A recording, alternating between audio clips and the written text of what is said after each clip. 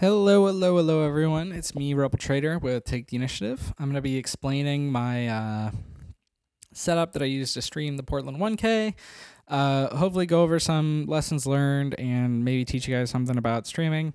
So, just some some background for me. I have a background in um, live theater, so uh, including like live broadcast theater during the 2020 era. So, uh, that's that's my experience, and um, you know it translates a bit over to uh, to streaming games. But uh, yeah, so I'll explain. Here's basically like what the setup looked like at the table. So you have like the the two players here, and then I had this. Technically, it's a microphone stand, uh, but you can use it to put you can put cameras on it as well. I haven't put the camera on it today just because I don't want to. and I also I, I so I had the camera at the table and I had the microphone at the table also. This is a Zoom H1n audio recorder. Uh, it also has a built-in speaker, which is going to come up later. Um, but I basically like duct taped it to the to the top of the stand. Um, really, like any stand will do. This is like kind of precarious because like the the weight is sort of tilted one way, and you might expect it to fall over. But we never had any issues with that. You can balance it. Uh, you can also get like better stands that will like basically arch over the whole table and be very stable. And I also had this um, little wireless keyboard here. This is to allow the players to send signals to the computer, uh, which is nice. I basically had like things programmed in it to change scenes in, in OBS and in uh, to start a timer. So I, I will show you how that uh, works later. But basically, these three things all plugged in together into this uh, little USB bus, uh, the receiver for the keyboard. By the way, if you're doing this in like a super crowded convention, like it might be to your advantage to use a wired keyboard instead of a wireless one, but uh, we weren't too crowded, so and it, will probably be fine anyway. So then I just plug the camera, uh, the microphone, and this into the this little USB bus. And during Swiss, I had my uh, laptop right next to the table, just facing away from the players because it happened to work that way. Uh, but for the top cut, I wanted to do commentary, so I plugged it into this, which is basically just a 30 foot USB cable that goes over to my computer. Um, we went like around the corner, but there was a big wall, so the the players couldn't hear us. Or well, uh, it was only me doing commentary, but um, yeah. So you you generally want to make sure that the players can't hear the commentary, and generally a big wall combined with the ambient noise from uh, being in a game store, like that, I'll, I'll do that. Uh, a note on the long USB cable. Uh, this is a specific kind of thing. It is called an active repeater cable, which uh, basically, so normally the USB cables will stop working after about 10 feet in length. Um, I forget what the exact number is, but uh, you can Google it. But you, um, basically the, the USB cables will, will not work because uh, it's just a limitation of the technology. But if you have little electronics that are you know constantly boosting the signal uh, inside the cable, that can work, and it can go like pretty long. So this is like this is one that goes 30 feet. Uh, I would be careful with these. um, uh, I've I so I own two of these, and I've tried like plugging them into each other, and it usually doesn't work out. Um, so if you can just get away with using one, that's great. Uh, if you need to go like really, really long distances, I would recommend not using USB extensions, and, and I would recommend getting um, adapters for Cat5 cable to USB. So then, because you can run Cat5 like really, really long. I think I think theoretically there is a maximum, but it's really, really it's it's much further in USB. And then also, if you have a fancy camera, you're gonna have to run an HDMI cable as well, probably. Uh, this camera is USB but uh, not all of them are. Um, so yeah, just just be careful. And HDMI is going to run into similar cable length limitations. Um, so Google Google those, uh, and you can find like charts.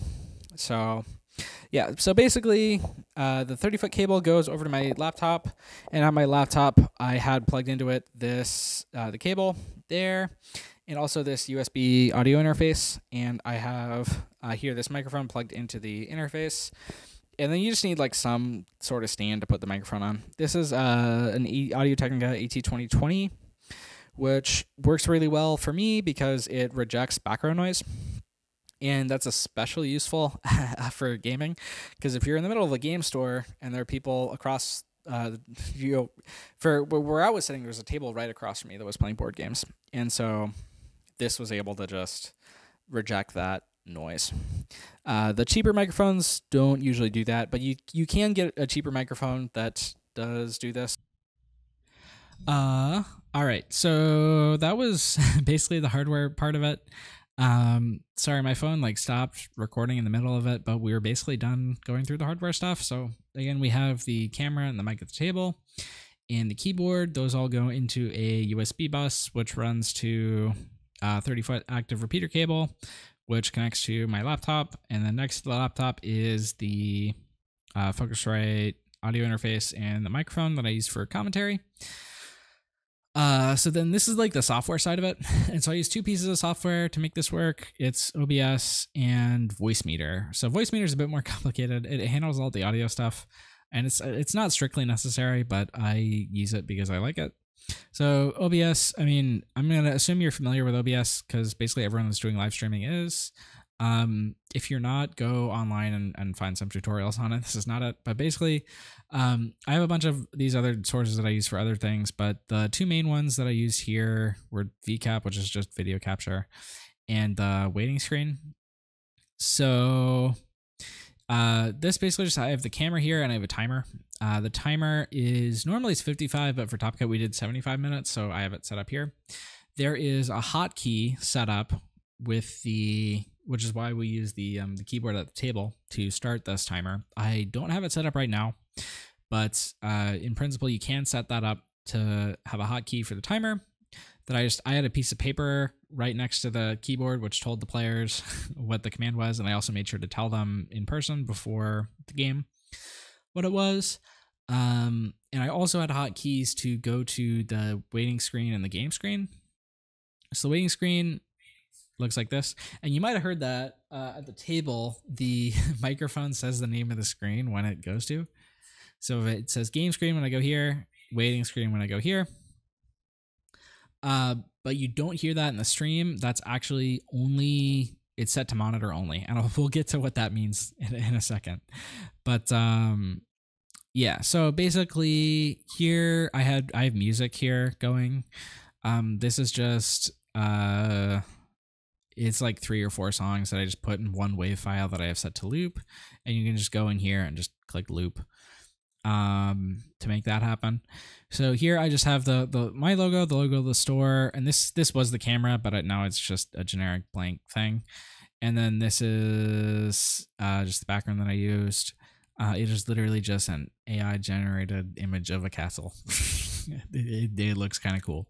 Um, so, and then I also have the camera here, and the camera here is the same source as the camera over here. Or sorry, well the cameras are the same, but the the timer is also the same. So that whenever you switch to uh the next the other screen, the the um they're the same. And you can do that in OBS if you don't know how. Like so I the camera is a text source, so you just go here and instead of clicking create new, you just click add existing and you can add anything from any of your scenes that's how, that's how I make sure that these are the same. The camera is the same and the text is the same over here. So, uh, yeah, like um, I would put more design work into the waiting screen uh, if I had more time, but I just at the I just did not have a ton of time uh, to to come up with something for the the stream. So it looks kind of basic, but it has everything that you need. Uh, in the future, I would probably add like an indication of what round it is, and I'd probably add some way to increment that from the table. Um, but yeah, so next I'm going to get into Voicemeeter, which is a bit more complicated. uh, if you've never used this before, basically what it is is uh, a virtual sound mixer, which people that have a background in live sound like me, like this makes sense to them. So uh, basically, you have here five different hardware inputs and three different virtual inputs, and then five uh, hardware outputs and three virtual outputs, which is kind of confusing. But basically, uh, just think like so hardware input is just like any physical audio device that you're getting signal from. So this right now is the input from the Focusrite box, which is just the microphone that I'm talking to you in right now. And then this thing over here, the Zoom, is just the microphone at the table. Um, the other ones aren't being used for anything right now, so they're just blank. Um, and so the the virtual ones, uh, typically like I have these set up to when I'm streaming TTS for the this first one, the system one, to be just the system sounds from my computer, which is usually the TTS output noise, um, like the noise of the shuffling cards and and stuff, uh, and the pings. And the comms is just um, Discord. And so, like the way you would set this up is once you download Voicemeeter, um, uh, there will be things on your computer that whenever you're in a place where you would select an audio output, normally you would just select like whatever headphones you're using. You can select uh, Voicemeeter, VAIO um, uh, one, two, or three, and that corresponds here one, two, or three. And so then in OBS, uh, the third channel is I use for the OBS monitoring. So to set that up in, you go in settings to I think it's an audio. Um, yeah, advanced. You click the monitoring device. So I just have this set up to be um, v uh, virtual audio input output three. Uh, that's what that stands for. And so now um, to get something to be monitor only, you would go here to the advanced audio properties. And so notice how for the main microphone stuff and for this music, I just have it as monitor off. But for this, I have monitor only. Uh, you can also have a monitor and output, but I have it monitor only. And this is the waiting screen, just the media clip that says is a recording of myself saying waiting screen, which you probably were hearing from over there. Uh, so now this media clip will play whenever the scene gets switched to. Uh, it won't repeat because I, I have the loop thing, uh, or oh no, uh, the, uh, I have it unchecked here. So it won't loop, um, but it'll just play once when you switch the scene and it won't play to the stream. It'll only play to the monitor. And the monitor, remember, is this channel here. And so this channel here, I can set the outputs for it. uh, so the outputs I have set are A2 is just like my headphones right here from the um, the audio box. A1 I have is like the my laptop speakers, and A3 is the Zoom at the table. So if I have it on A3, then uh, the players will hear it at the table. The stream won't hear it. I can also set it up so that I hear it also, but I can also just set it up so I don't hear it. Um, and then for the my, my my my microphone, I have it set up to just be one. And so I've I've that's just because I have my OBS con- configured so that mic aux one is the virtual output one, mic aux two is virtual output two, uh, three is virtual output three. Um, and I can show you how to do that here. I think is it oh yeah, yeah, yeah here so um uh these are just the audio devices in um uh in OBS and I just have it set up so that it's the the Voicemeeter outputs. Uh, the B1 is the normal outputs. B2 is the called the aux output, and this is the VAIO3 um, output. So um, normally, like I, I, I use channel three for the system sounds and channel two for the uh, Discord comms, but that's like not super relevant here.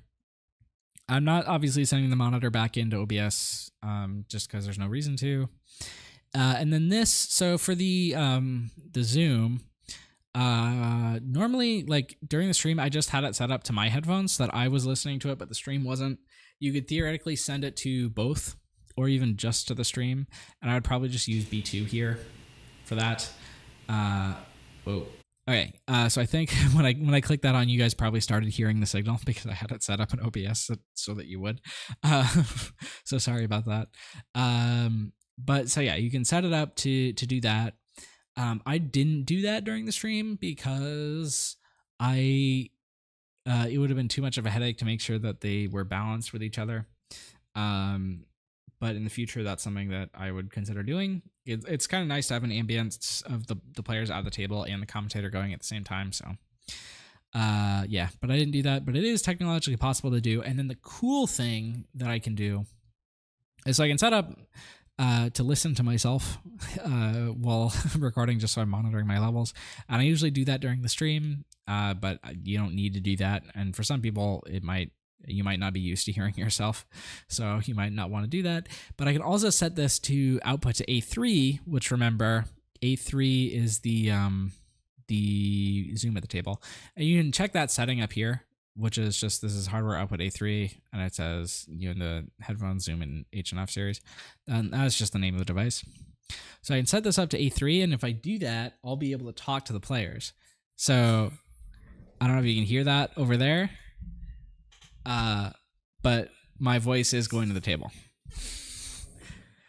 And so I can turn that off. And remember, I can hear what the players are saying so we can talk to each other from a distance without me having to physically get up and go talk to them, which was nice. I used that a couple times during the stream to like check on people's base health because they weren't keeping track of it on screen and we had lost count.